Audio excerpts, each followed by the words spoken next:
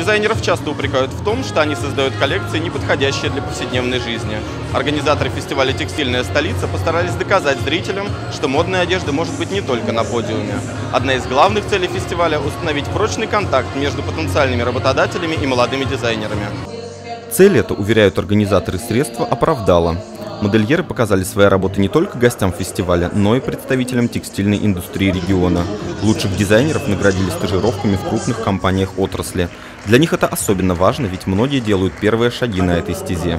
Коллекции Дарьи и Ксении выделяются не только большим количеством костюмов, в ней их 30, но и глубоким интеллектуальным содержанием. Принты для толстовок нарисовали дети из клуба инвалидов «Грани». Девушек наградили специальным дипломом за развитие темы этической моды. Это одежда а, не только в которой удобно ходить, а еще одежда, над которой нужно подумать. То есть а, есть выбор либо купить просто красивую одежду, либо купить одежду со смыслом.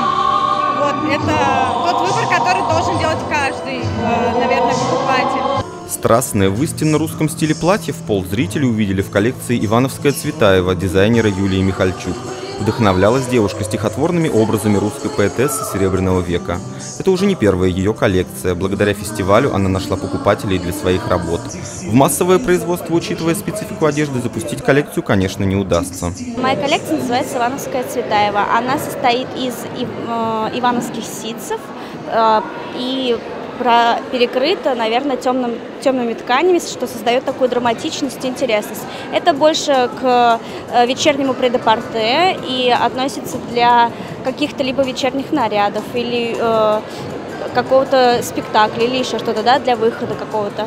Помимо демонстрационной части, текстильная столица предложила молодым дизайнерам еще и образовательную программу. Представители индустрии моды рассказали о современных тенденциях в отрасли. Этот фестиваль следует рассматривать скорее как отличный проект для начинающих специалистов, площадку для обмена опытом и знакомства с бизнесменами-текстильщиками. Через несколько дней в регионе стартует другой текстильный фестиваль «Льняная палитра». Там гости увидят коллекции более высокого, профессионального уровня. Для молодого поколения это не только крупное событие года, но и место, где можно познакомиться с корифеями отечественной моды. «Льняная палитра» — это фестиваль уже с большим опытом, э, с большим авторитетом э, и мы, конечно, никак не стремились быть э, близкими хотя бы к ним. Мы э, старались сделать совершенно иной проект, молодежный. Все-таки «Льняная палитра» — это проект для профессионалов этой индустрии. У нас проект только для молодежи.